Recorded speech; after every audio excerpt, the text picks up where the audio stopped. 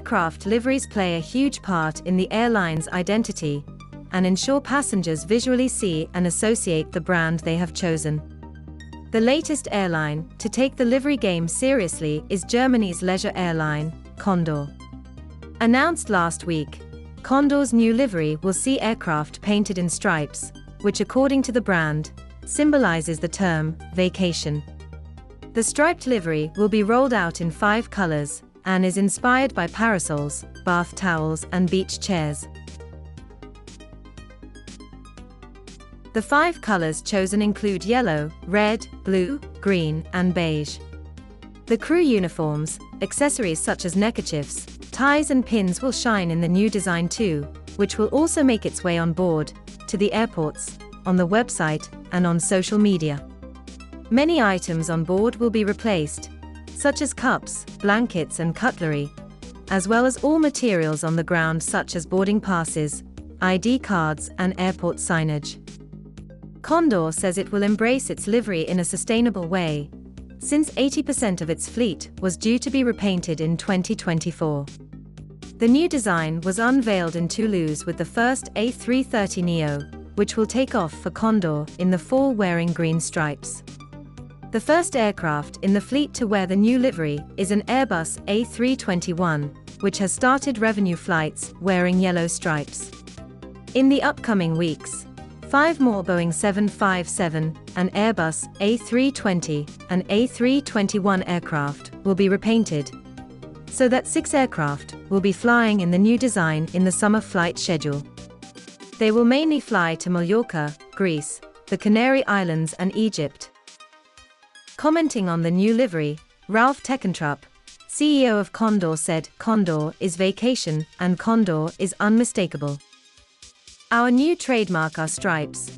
Our figurative mark stands for our origin and the colors for diversity.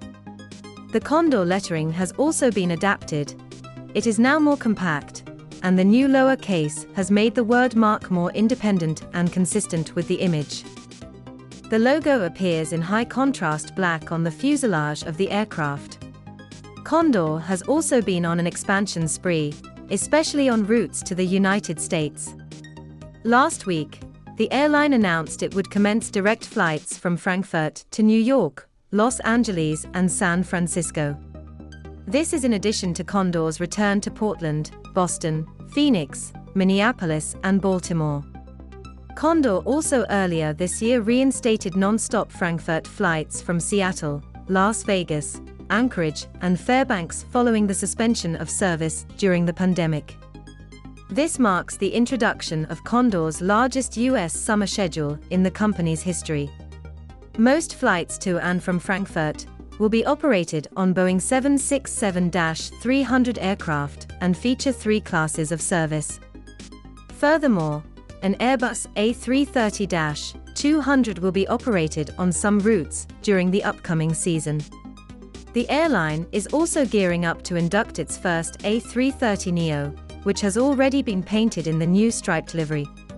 Condor has 16 A330neos on order, and these aircraft replace the Boeing 767. The replacement of the long-haul fleet should be completed by mid-2024. We would think these fuel-efficient wide-body aircraft are deployed on its routes to the United States.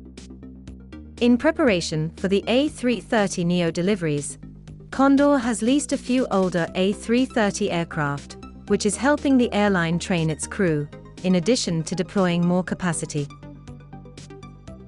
Are you excited to fly on Condor's latest livery, and will you be choosing them for your next travel?